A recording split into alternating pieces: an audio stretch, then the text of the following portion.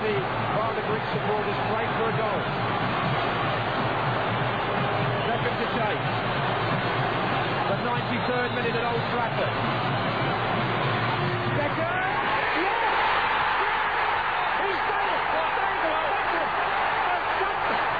It's 2-2! And England may still be going to the World Cup automatically. It's a fantastic ending to a very, very poor performance. Lucky manager, and he deserves the goal because Beckham has virtually played Greece on his own. What a curler! Right in the corner, Trevor Brooking. Well, what a goal. Absolutely fantastic. He chased himself all over the pitch. He's won tackles, he's taken free kicks, and look at that reaction.